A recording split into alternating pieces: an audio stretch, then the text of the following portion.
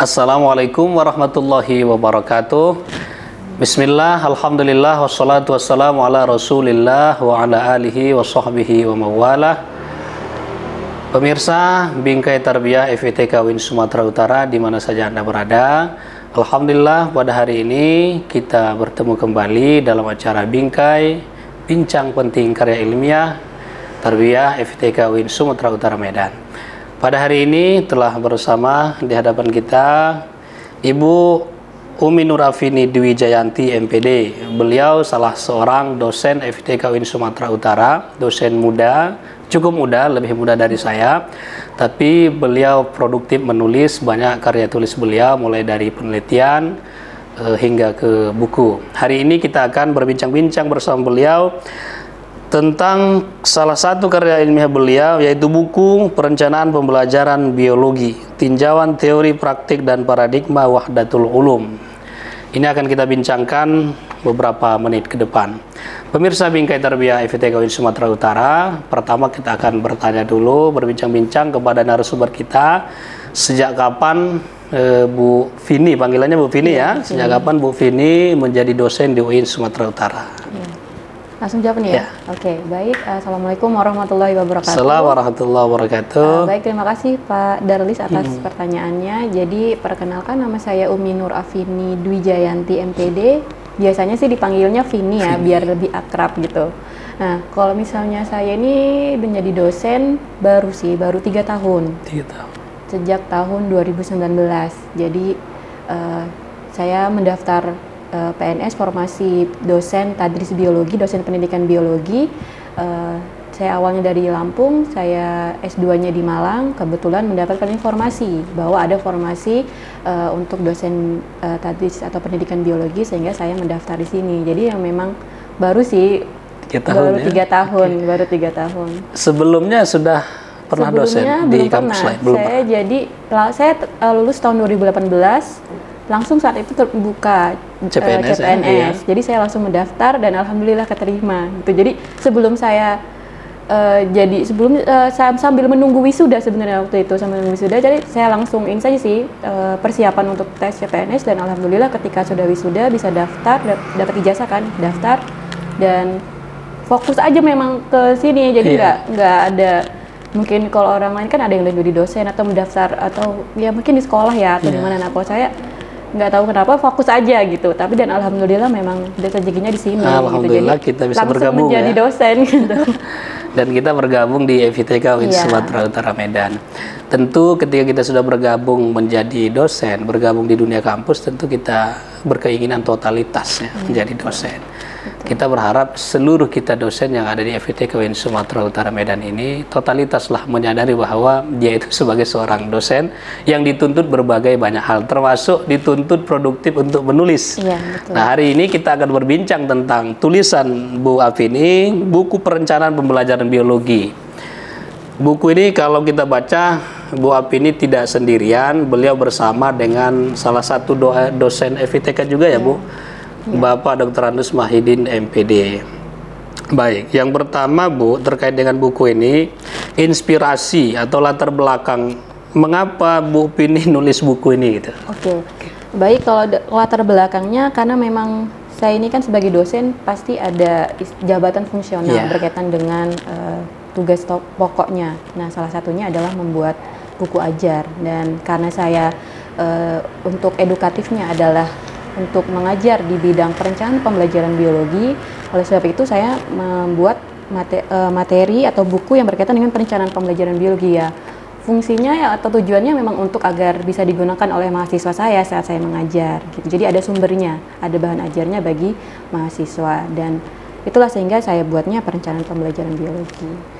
Oke, walau tujuan awal dan sasarannya itu mahasiswa, tapi tidak menutup kemungkinan siapa pun boleh mengkonsumsinya bisa, ya mungkin ya, ya pasti ya. Bisa, ha, jadi awalnya ya memang mahasiswa, tapi kan bisa juga terbuka untuk Oke, okay. saya lihat ini ada lima bab ya bu, ada ya, lima bab, ada lima bab, 133 halaman isinya ya. sama daftar referensi itu 134 halaman dan seterusnya. Ya. Saya melihat ada yang unik ini susunan atau sistematika buku yang ibu tulis. Setiap ya. bab itu ada ada subpoin dua terakhir suplemen dan tugas dan itu berulang pada setiap subbabnya itu ya. bagaimana keterangannya bu? Oke uh, jadi suplemen ini agar mahasiswa selain mendapatkan materi dari teori yang sudah dijelaskan sebelumnya dipaparkan sebelumnya jadi bagaimana sih uh, ininya ya apa aplikasinya hmm. gitu bagaimana aplikasi apa apa tren-tren atau berita-berita terbaru yang berkaitan hmm. dengan materi yang uh, saya bahas di setiap babnya yeah. berkaitan dengan uh, perencanaan pembelajaran bagaimana sih di sini saya meminta untuk uh, memberikan gitu ya berita tentang bagaimana perencanaan pembelajaran di, di era pandemi itu kan merupakan tren-tren terbaru jadi hmm. selain dapat teorinya yang biasanya kan kalau teori kita bisa saja ada grand teorinya lalu. Bagaimana apa aplikasinya yang kenyataannya sekarang berita terbarunya? Jadi tidak hanya sekedar uh, materi saja tapi apa uh, perkembangan yang ada dalam dunia pendidikan itu dimasukkanlah ke dalam suplemennya itu. Yeah. jadi biar menambah bahan bacaan konsumsi tambahan uh, ya. konsumsi yeah. tambahan dari mahasiswa. Dan kalau untuk tugas memang uh, agar ya jadi siswa tidak eh, mahasiswa juga apa ya mendapatkan uh, latihan gitu bagaimana nanti agar bisa lebih memahami materi yang ada di buku ini di gitu. Dan juga bisa dijadikan sebagai salah satu penugasan ketika kita uh, ini ya di mata kuliah kita gitu salah satunya. Baik gitu. pemirsa Bingkai Tarbiyah FTK Sumatera Utara. Menarik perbincangan kita dengan narasumber kita pada hari ini. Ya adanya suplemen dan tugas itu ya menurut penulis itu sangat penting gitu ya. Tentu menjadi tambahan bagi kita. Kemudian Bu Af ini pada halaman 24 ya. Pada halaman 24 bab bab 2 tepatnya itu. Oh, ya. Saya tertarik melihat subjudul tersebut karena memang paradigma keilmuan kita UIN Sumatera Utara Medan itu Wahdatul Ulum ya, sangat berbeda dengan perguruan tinggi lainnya. Nah, kalau kita korelasikan bagaimana mengimplementasikan WU ya, kita singkat Wahdatul Ulum itu dengan pembelajaran biologi. Saya lihat itu Bu Pini menuliskannya. Mohon eh, iya. penjelasannya agar pemirsa juga mendengarkan secara langsung. Oke. Jadi di sini memang saya dari tinjauan paradigma Wahdatul Ulum juga karena memang mengikuti apa yang sudah di ini ya sudah berkembang saat ini di uh, kampus kita kampus UINSU memang paradigma yang digunakan adalah wahdatul ulum sehingga kita juga pun sebagai dosen kan juga harus mengintegrasikannya yeah. dalam uh, pembelajaran perkuliahan kita. Dan maka itu di buku ini pun saya menyisipkan bab tentang bagaimana uh, implementasi wahdatul ulum dalam kurikulum dan pembelajaran biologi. Karena kaitannya nanti dengan bagaimana merencanakan pembelajaran biologi untuk siswa gitu ya. Dan di sini saya memang uh, sebelum saya kenal dengan Wahatul Ulum, saya itu pernah mendapatkan materi dari profesor saya saat waktu di S2 di Malang gitu kan Pak. Jadi berkaitan dengan bagaimana sih sumber ilmu, dari mana sih ada sumber ilmu gitu. Nah, saat itu dijelaskan bahwa sumber ilmu itu ada dua, yaitu dari ayat-ayat kauliyah dan ada juga ayat kauniyah yang mana kalau ayat-ayat kauliyah itu kan dia bersifat dogmatis yang berasal dari uh, ayat Al-Quran. Walaupun uh, ayat kauniyah juga pun sebenarnya dari ayat Al-Quran tapi itu berkaitan dengan bahwa sumber ilmu selain dari Allah juga dari makhluknya. Seperti itu. Dan dari makhluknya itulah dilihat dari ayat-ayat kauniyah yaitu berkaitan dengan fenomena alam yang ada di sekitar kita. Dan fenomena alam itu kan merupakan salah satu bahasan dari biologi. Nah dijelaskanlah oleh pada saat itu saya mendapatkan informasi bahwa ayat-ayat kauniyah ini uh, fenomena gitu kan fenomena fenomena ini membuat manusia itu kan curious, curiosity-nya tinggi, jadi rasa ingin tahu. Nah dari rasa ingin tahu lah uh, pada oleh ilmuwan-ilmuwan pada zaman dahulu, kemudian dengan adanya metode ilmiah, sehingga ditemukanlah ilmu pengetahuan. Hmm. Salah satunya adalah ilmu pengetahuan alam, yang di mana salah satu cabangnya adalah biologi. Karena kan ada fisika, ada kimia, ada juga ilmu uh, sebenarnya uh, geografi itu kan juga termasuk ilmu bumi.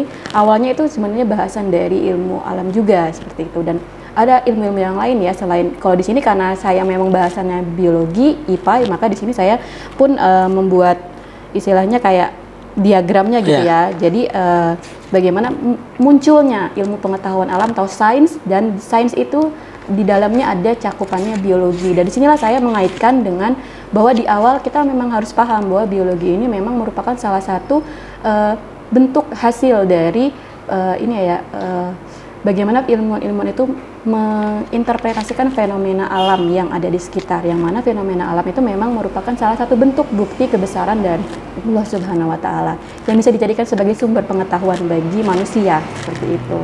Maka di sini uh, saya diawali dengan bagaimana uh, implementasinya dalam pembelajaran biologi seperti itu. Jadi tahu dulu sumber biologi itu dari mana sih yeah. awalnya seperti jadi sumber pengetahuan. Kemudian ya bagaimana kita nanti uh, bisa istilahnya menginterpretasikan ayat-ayat kauniyah yang berkaitan dengan biologi di dalam Al-Quran, kemudian nanti dikaitkan dengan teori-teori atau materi atau konsep yang sudah dipelajari uh, dari kita de, secara biologi ya, secara umum dari ilmu-ilmu yang sudah ada dari konsep, teori, hukum dan segala macam. Seperti Oke, itu. baik. Terima kasih Bu Pini. Itu secara teoritis ya, luar biasa ya. Di sini juga saya membaca secara teknis paling kurang ada dua ya Bu. Paling kurang ada dua. Yang pertama pengembangan kurikulum. Iya. Yang kedua pembelajaran. Tuh mohon uraiannya bagaimana itu Bu Pini. Oke. Jadi kalau untuk dari pengembangan kurikulumnya tentu saja bagaimana nanti kita bisa uh, menginternalisasi uh, paradigma wadatul ulum ini dari ininya ya uh, kaitannya dengan apa yang ada dalam kurikulum kita. Jadi di dalam kurikulum kita itu kan ada kompetensi inti dan kompetensi mm -hmm. dasar. Yang mana kalau kompetensi inti itu kan terdiri dari empat ya, ada sikap spiritual, sikap sosial, uh, sikap pengetahuan dan juga uh, keterampilan gitu. Nah, dari situ kita bisa lihat bahwa uh, di, terutama dari sikap uh, spiritual gitu kan dan juga uh, di mana kita bisa mengkaitkan antara bagaimana uh, kaitannya dengan uh, ketuhanan dengan kita belajar. Nah dari situ pun uh, kita bisa lihat bahwa di dalam kurikulum pun ini uh, istilahnya konsep wadatul ulumnya pun ada gitu ya karena memang diminta bagaimana kita nanti uh, mengaitkan antara ilmu-ilmu uh, yang sumber ilmu dari uh, Al-Quran ke, kemudian nanti bisa dikaitkan dengan materi pelajaran yang kita pelajari itu pun nanti kaitannya dengan karakteristik dari pembelajaran biologi sendiri yang mana biologi itu kan ada berbasis produk, proses dan juga nilai kalau produk itu berkaitan dengan konsep-konsepnya mm-hmm. kalau misalnya ada konsep tentang evolusi, konsep tentang sel itu konsepnya sebagai produknya sebagai hasil tadi dari uh, peneliti peneliti atau ilmu terdahulu menggambarkan atau menginterpretasikan fenomena alam sehingga muncullah produknya berupa konsep, teori, hukum tentang biologi. Kemudian proses berkaitan dengan aspek ilmiahnya. Jadi bagaimana ilmu pengetahuan itu atau biologi itu ditemukan itu ya dengan metode ilmiah sehingga ketika kita uh, membelajarkan biologi hendaknya jangan ya jangan yang jangan kita sebagai satu arah saja, tetapi bagaimana siswa bisa belajar selayaknya seperti saintis dan yang terutama adalah nilai.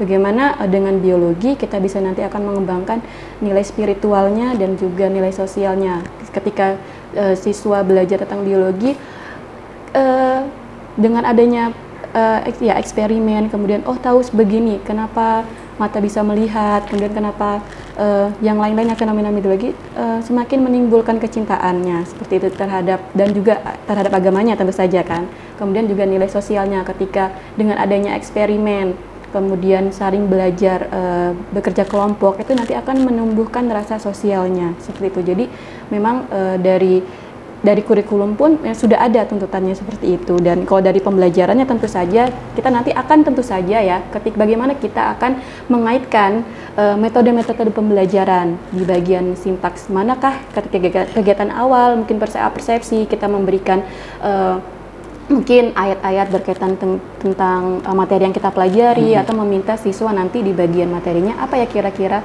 uh, kaitannya antara materi yang kita pelajari dengan apa yang dibahas di Al-Qur'an. Itu jadi kaitannya kok dari pembelajarnya seperti itu bagaimana seorang guru nanti bisa mengaitkan dengan uh, model pembelajaran, strategi, materi, sumber yang bisa mengaitkan antara uh, kaitan Al-Qur'an dan juga dengan uh, materi biologi. Jadi seperti itu okay. kalau dari pandangan saya ya, ya Pak okay. ya. Mungkin kalau misalnya okay. ada pandangan yang berbeda. Luar biasa gitu. Bu Vini. Baik pemirsa Bingkai Terbiak FITK Sumatera Utara, kita jeda sejenak.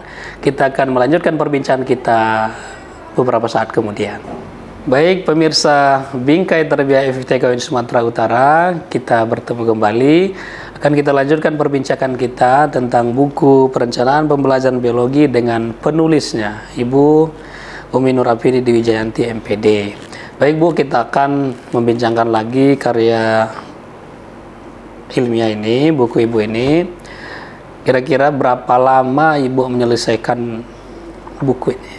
menulisnya itu berapa untuk lama? membuat draftnya sendiri sekitar tiga bulan ya. Tiga bulan. tiga bulan. Kalau dan untuk masa dari penerbitannya sekitar sebulan lah gitu. Kan kan eh, dari tahun 2021 sekitar bulan Mei lah ya. Ini terbit tahun Eh, 2021 bulan 2021 Oktober. Oktober ya. Iya bulan Oktober.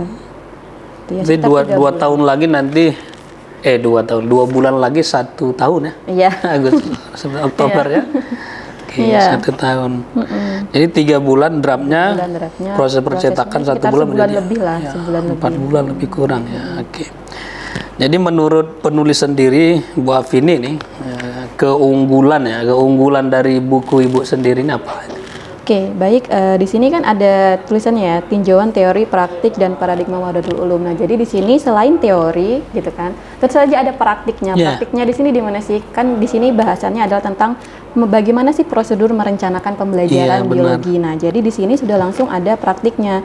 Bagaimana sih caranya menganalisis SKL, KI, dan KD, kemudian mengembangkan indikator dan tujuan pembelajaran itu sudah ada contoh-contohnya berkaitan dengan jadi bagaimana kita yang membaca se- kita selain dapat teorinya kita juga bisa mempraktikannya. Ada contohnya langsung langsung, ya. dan ada contohnya. Karena kan kalau nggak ada contohnya kadang-kadang kita jadi bingung Iya. sendiri. Kalau misalnya kita baca buku nggak ada contohnya. Jadi sini sudah ada diberikan eh, praktiknya. Dan bahkan ketika kita membuat indikator pencapaian kompetensi di sini saya sudah membuatnya tuh ada langkah-langkahnya di halaman lim- 67 jadi bagaimana di awalnya seharusnya seperti apa Ya, langkah pengembangan keduanya. indikator ya dan Ah, tujuan gitu. Dan pembelajaran. Jadi eh, saya di sini memang biar apa ya step by stepnya itu jelas. Nah di situ di saya eh, titik kuatnya ya. Dan tentu saja eh, paradigma Wadatul Ulum ya sebagai salah satu eh, paradigma keilmuan di UIN yang memang saat ini belum banyak ya dosen-dosen yang membuat dikaitkan dengan Iya. WO gitu. Jadi di sini saya juga jadi mengikutilah apa yang memang sudah menjadi eh, aturan dan tanggung jawab dan juga istilahnya tren yang sekarang gitu dan paradigma yang digunakan di kampus. Karena kan kita di sini yang mengajarkan sesuai dengan paradigma keilmuan yang ada di kampus kita. Oke baik, terima kasih Bu Pini. Luar biasa. Kemudian tentu satu tulisan yang ditulis oleh seorang penulis, ya paling tidak dalam pers- perspektif penulis itu pasti ada rasa kepuasan tersendiri gitu ya. Ada kepuasan tersendiri. Namun begitu pun kita yang bukan penulis memandang ya biasa gitu, tapi sungguh itu luar biasa karena banyak bisa jadi banyak kendala-kendala yang ditemuin ketika menulis ini. Bu Nurapini sendiri apakah ada kendala-kendala dalam menulis buku ini? Oh ya, kalau kendalanya itu ini sih ya waktu tentu saja karena kan Waktu saya ya. juga ada tu- ada tugas yang lainnya di sisa sela-sela mengajar juga Iya. dan tugas yang lainnya dan juga eh, untuk Wahdatul Ulum ini kan masih masih sedikit informasinya sehingga kemarin akhirnya saya mencari eh, minta dulu lah teman yang punya buku tentang Wahdatul Ulum kemudian saya baca lagi mengaitkannya dengan biologinya juga seperti apa gitu ya jadi memang mencari sumbernya juga butuh waktu kemudian ya menulisnya ya kadang-kadang kita kan ada eh, start gitu kan Iya. ya jadi bagaimana sih men- untuk semangatnya lagi eh, istilahnya eh, bagaimana kita bisa menyelesaikannya di sela-sela tugas yang banyak karena kan kita juga ada eh, ini ya istilahnya tanggung jawab yang Iya. lainnya gitu sih kalau kendalanya lebih ke sana gitu. Tapi kalau menurut saya Bu Vini itu termasuk proses yang cepat ya tiga bulan itu kan proses yang Iya. cepat di tengah-tengah kita sebagai dosen ya pekerjaan dosen itu ya cukup banyak Iya. gitu kan tentu ada strategi-strategi Bu Afini apakah satu hari satu halaman atau ada target satu minggu itu mesti sekian halaman gitu apakah itu ada Bu?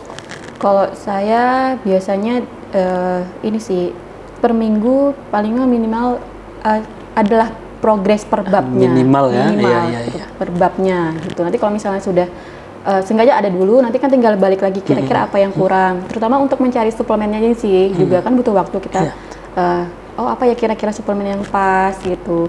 Kemudian karena juga saya itu kan ini ya eh, belum apa ya, istilahnya tidak familiar dengan membuat footnote atau eh, footnote atau seperti apa gitu kan kadang-kadang tapi di sini memang tidak ada sih untuk ininya untuk sumbernya saya menggunakan Mendeley biar lebih cepat gitu kan karena itu juga sih jadi eh, saya ada target-targetnya bisa gitu setidaknya harus ada progres lah Yes. gitu per babnya gitu dan ada yang eh, banyak nanti kita tinggal lihat lagi review kembali kalau misalnya ada yang kurang tinggal kita tambahkan Baik, terima kasih Bu Pini, sahabat Bingkai Terbiak FITK UIN Sumatera Utara. Bisa kita tiru strategi yang dilakukan Bu Pini. Ketika kita nanti menulis itu bisa saja kita tiru ya. Baik. Kemudian eh, kalau saya bertanya misalnya, apakah Bu Vini itu punya keinginan untuk berhenti menulis itu? Oh. Pertanyaannya dibalik itu itu tidak bagaimana, tentu saja untuk uh, tidak lah ya yeah. karena kan memang kita dengan menulis lah uh, kita akan siapa, siapa tahu yeah. salah satu bentuk dari amal jariah kita ke depannya seperti itu jadi uh, kita diingat gitu dengan tulisan kita gitu. Betul. jadi uh, kita selain tugas memang kita sebagai dosen tapi dengan kita membuat buku ini kita tentu saja akan meninggalkan jejak yes. kita. Ketika kita nanti mungkin ya kodarullah kita sudah meninggal duluan tetapi masih ada orang-orang di sekitar kita gitu. Jadi diingatnya itu salah satunya adalah ada tulisannya itu tadi. ya benar para ulama dulu begitu ya para ulama itu begitu. Banyak sih ulama-ulama kita yang memang betul halim atau alamah malah tapi hanya persoalan tulisannya nggak ada ya nggak dikenal gitu kan nggak mm -mm. dikenal dan nggak terkenang oleh orang-orang gitu jadi salah satu indikator nama kita itu akan dikenal sepanjang masa ya produktif menulis itu luar biasa Bu Pini. Hmm. Di samping kepuasan tersendiri itu juga uh, memberikan manfaatnya sebagaimana isyarat Nabi itu ya orang yang terbaik itu yang banyak ngasih manfaat ya salah satunya banyak tulisannya gitu ya. Yeah. Oke Bu Nurapini harapannya ini terakhir ini harapannya kepada uh, sesama dosen lah terutama dosen-dosen yang muda itu kaitannya dengan produktif menulis ini apa? Ya harapannya kita sebagai seorang dosen, tentu saja kita punya tanggung jawab menulis. Ya kita harus punya uh, target tertentu. Biasanya sih kalau tidak setahun satu buku lah gitu yeah. minimal. Kita bisa menulis sendiri atau bisa menulis kolaborasi. Gitu itu sih yang saya juga masih belajar ya, yeah. karena saya masih dosen baru. Itu juga uh, masih dosen yang belajar juga menjadi menulis juga gitu. Jadi kita sama-sama belajar, sama-sama latihan. Mungkin kalau misalnya uh, bisa bertukar pendapat gitu kan ada yang mungkin bisa kita kolaborasi kita kolaborasi karena memang itulah uh, ya kita bisa mengikat ilmu dengan menuliskannya gitu dan juga memberikan manfaat dengan kita membuat tulisannya ini. Termasuk ini ya Bu Pini, ini saya lihat ini berkolaborasi sama Pak Mahidin ya. Iya. Pak Mahidin ini dosen senior kita ya iya, di FETK ya, Sumatera Utara. Biar ya ini lah ya apa namanya biar ada saya bisa belajar dari beliau juga karena kan memang saya masih baru gitu iya iya gitu berkolaborasi berkolaborasi dulu. baik terima kasih Bu Pini sahabat bingkai terbiak FITK UIN Sumatera Utara Medan itu perbincangan kita luar biasa ya informasi yang kita dapatkan dari Bu Nurafini ternyata beliau berkolaborasi dengan uh, salah seorang dosen senior kita Pak Dr. Andes Mahidin MPD selain menambah wawasan ya juga itu saling membantu lah. Ada yeah. prinsip bilang begini, uh, orang terbantu kita tertolong. Gitu. Intinya sama juga gitu kan, saling membantu gitu. Karena eh, bantu membantu dalam kebaikan itu luar biasa kebaikan yang diberikan Allah. Tidak akan Allah sia-siakan kalau kita itu berbuat baik apa pun bentuknya. Itu prinsip yang harus kita pegang. Baik pemirsa Bingkai Tarbiyah FTK Sumatera Utara, eh, kita sudah sampai di penghujung acara. Terima kasih kepada Bu Nurapini yang telah memberikan wawasannya eh, terkait dengan karya ilmiah yang beliau tulis. Ya, buku beliau ini bisa kita dapatkan eh, di toko-toko buku gitu toko-toko buku karena memang isi dari buku ini layak untuk kita konsumsi terutama para mahasiswa UIN Sumatera Utara karena memang buku ini sangat berkorelasi dengan paradigma keilmuan UIN Sumatera Utara Medan. Sekali lagi terima kasih kepada Bu Nurapini, terima kasih kepada seluruh pemirsa Bingkai Tarbiyah FTK UIN Sumatera Utara di mana saja Anda berada. Saya Ahmad Daris selaku moderator undur diri. Mari sama-sama kita tutup perbincangan kita ini dengan mengucapkan alhamdulillah, alhamdulillah alamin. Demikian assalamualaikum warahmatullahi wabarakatuh.